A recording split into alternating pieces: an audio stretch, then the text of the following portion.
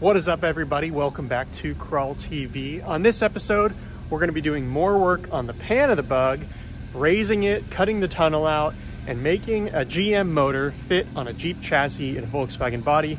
More cutting as usual.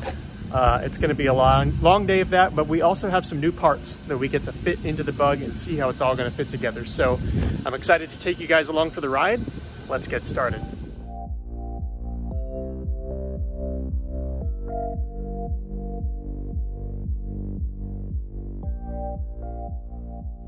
All right, so this is where we're at right now. Um, the floor of the bug is currently bolted to the bug the same way it would be if it was stock. There are um, actual Volkswagen specific bolts right now going through that pan and up to the body. But if you come around the side and look at this with me, the floor actually sits a little bit lower than the body and you'll see a lot of like the guys that race class 11 and stuff, that is just like a mangled piece of sheet metal right there because it hangs lower. In our case, since we're putting the bug onto a Jeep frame, we want to get rid of this underhang here because we want to use the heater channels of the original body as our like main body and structural support for the body mounts. So my plan today is to get in here and cut right on the inside of this lip and shave down that outer edge of the floor pans. And then I'm gonna come in here to this tunnel and I'm gonna remove pretty much the whole cap on the tunnel. So there will just be the floor part of the tunnel uh, and then I'm gonna cut around the back. And so this is really, really just getting whittled down to like a single piece of metal pan. There's not a lot of structure left in it. That is the plan for now. There's a lot more going on in the shop today, but we'll start with that. And then if we have time, I'll show you the goodies that are on that table. New parts came in for the bug and I am stoked about it. So I will show you guys those as soon as this is done.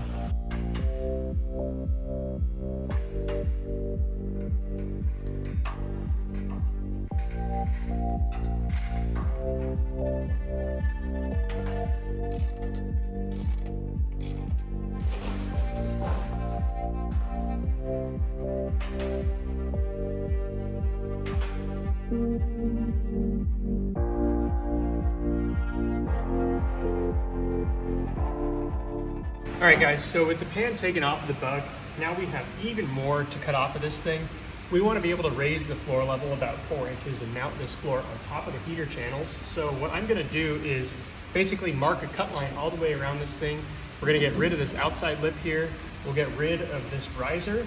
Uh, the most important thing to keep is our VIN number, which is right here on the tunnel, but the whole tunnel is gonna be coming off. Now, if I had known about this ahead of time, I wouldn't have welded the floor pans onto this so securely and seam sealed it already. But these things are so uh, like freshly welded on that there's no way that they're gonna come off cleanly. So uh, because of that, we can't just put the pans on a flat piece of metal. We actually have to salvage what's left of the Volkswagen pan itself. So we're gonna cut all of this off, put it back on that frame, see how it looks, and then we'll use the bottom of those heater channels for our body mounts. So without further ado, let's get to cutting.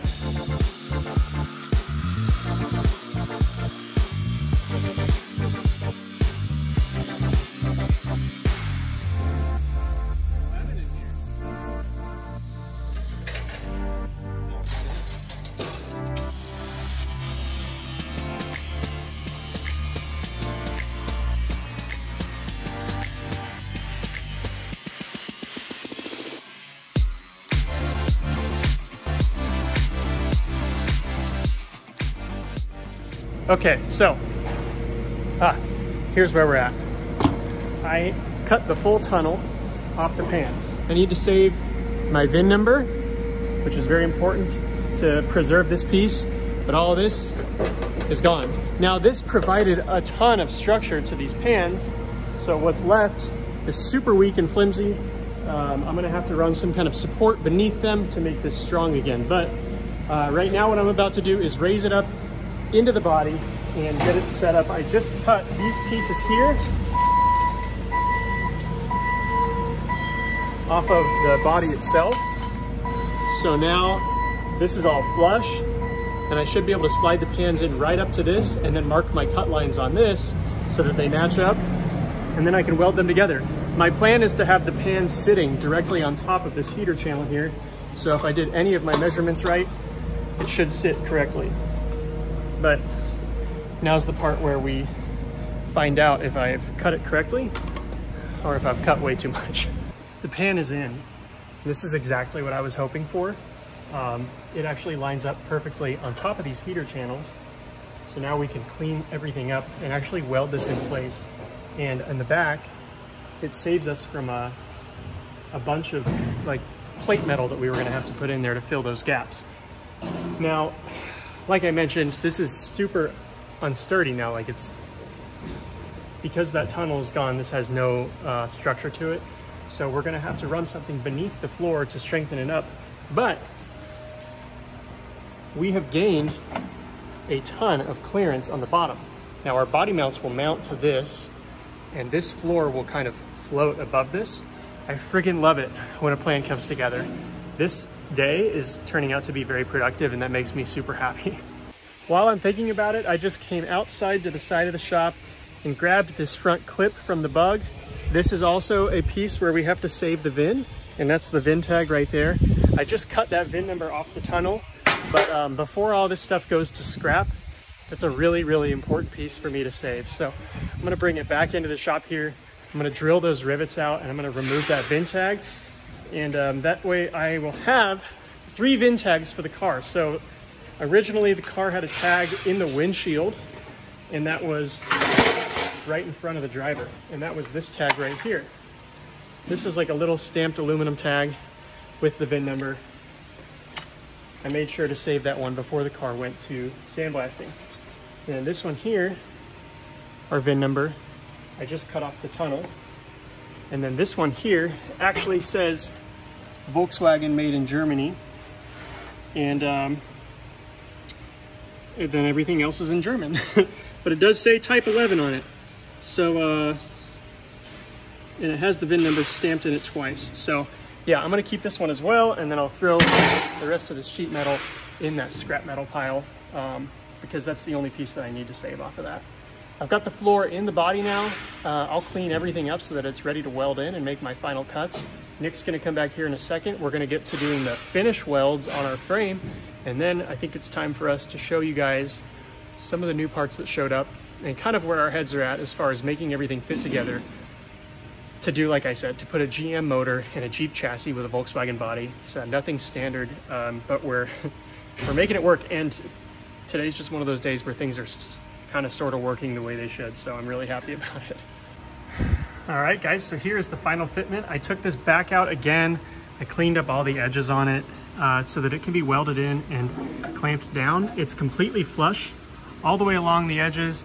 I did have to notch out right here around the B-pillar a little bit. And um, like I mentioned earlier, I cut those flanges off the back where the old floor pans bolted up to it. Now it sits kind of over those. Since this is on top of the heater channels, like I mentioned earlier, you can really see that mating surface that we have here for the body mounts. So we have like a really solid structure for the body to mount on a body mount. That's where we're at for now. I think I'm gonna take like a 15 minute breather, but Nick is gonna come out here and he is gonna weld the rest of the frame. And um, once that's done, we'll take a look at our parts that are sitting on this table over here. I'm excited to show you guys what we have in store for this thing.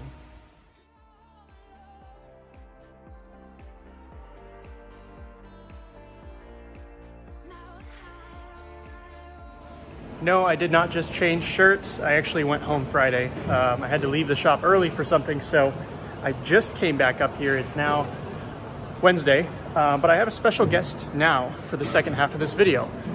My dad is here, and uh, I got him set up welding the floor pans in, and um, even I can't screw that up. well, he got the tacks done, and then we, we ground them smooth. I ran some beads on the floor, so that thing is in now, and I'll show you guys what that looks like. Um, the floor is completely welded into the bug, so what I did is I actually took a uh, like Irwin vice clamp, like a wood clamp, and I pulled the floor out. So it made it tight as it could possibly be in the center to give this some rigidity, which it actually stiffened up a lot.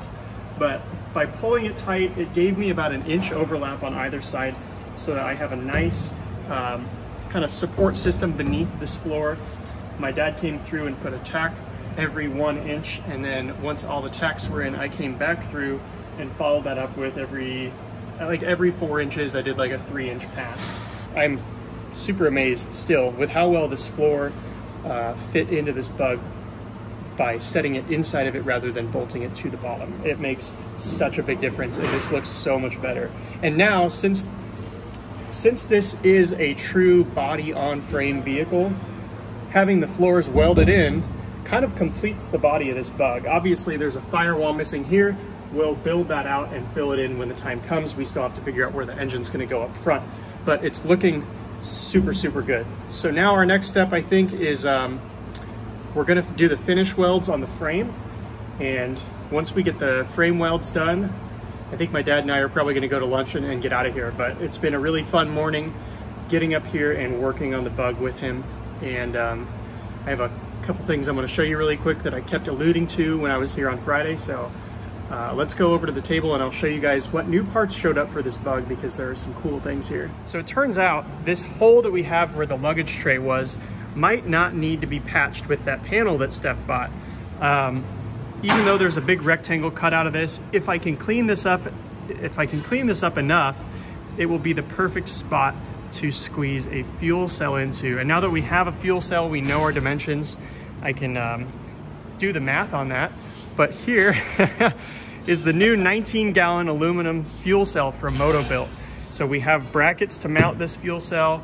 Uh, we have all of the, the fill nozzle, um, send, return, all the parts that we need for this.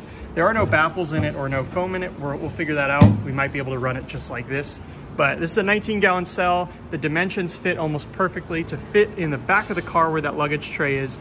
Now, in addition to the Motobilt fuel cell, which I am super jazzed about, we also have um, all of our Dakota Digital um, parts here. So we have a digital dash display. We have our full engine harness. This is actually our body harness. So this will be our, our lights, uh, tail lights, turn signals, um, steering column, our flasher built in there. This is the fuse, fuse block for it. Everything is here for our body, which is freaking amazing. But the Dakota Digital stuff is even more incredible. This is a fully tuned ECM for the L86 motor. And then in here we have, this is actually for the body, body harness as well. This is gonna be what controls the turn signals. So left and right signal, controls the lights, horn. That's a pretty nice uh, all-in-one piece that we're gonna use for the body harness. Now the engine harness, everything is built in. Believe it or not, this tiny little cube here is our entire TIPM. Everything is extremely set up for this exact application. So um, when it comes to wiring in the body, wiring in the motor, between the body harness, the engine harness, and an S-Pod, we will have everything set up so that we don't have to do any guesswork or any super custom wiring to get this car to come together. And when most people build cars, I think that this is probably the most daunting part is how am I gonna wire an entire vehicle um, from scratch?